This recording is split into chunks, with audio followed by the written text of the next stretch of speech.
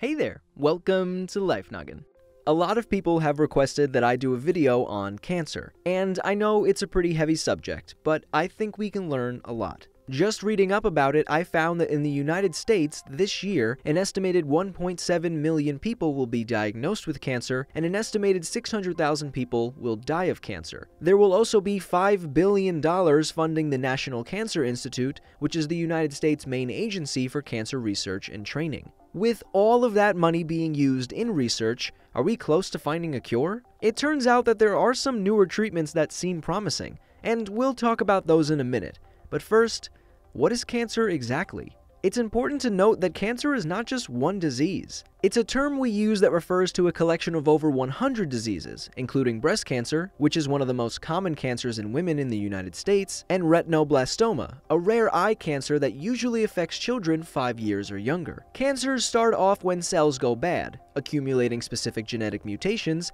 dividing out of control, and evading death. In most cancers, this can result in lumps or tumors that invade nearby tissue. Most symptoms vary depending on cancer type. For instance, skin cancer is often associated with abnormal growths on the surface of the skin, including bumps, discoloration, lesions, and changes to existing moles. While indications for lung cancer include a persistent cough, shortness of breath, and chest pain, among others and each type of cancer may require a different treatment or cure. To help fight it, you can use things like high doses of radiation, chemotherapy drugs, and targeted therapy. But even with these methods, cancer cells can find a way to hide or build a resistance to treatment. Here's where the newer treatments and research comes in. Earlier this year, a study performed on mice found two new ways that could overcome resistance to a certain targeted therapy drug. The resistance seems to be caused by an increase in insulin, a hormone that regulates blood sugar. The researchers found that when giving the drug in conjunction with either a high-fat, ketogenic diet or with a common drug used to treat type 2 diabetes, they saw greater tumor shrinkage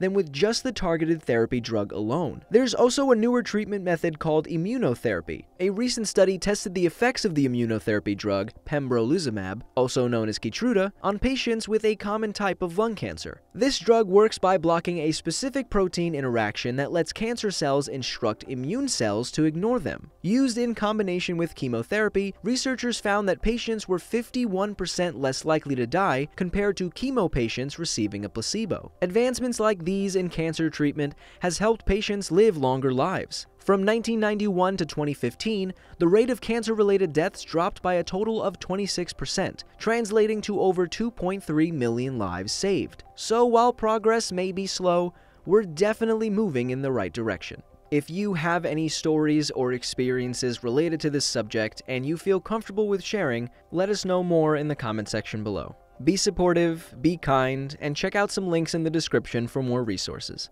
Curious to know how schizophrenia affects the mind? Check out this video. Schizophrenia is described as a severe and chronic mental disorder that can affect different parts of a person's life, such as how they think, feel, and make decisions. As always, my name is Blocko. This has been Life Noggin.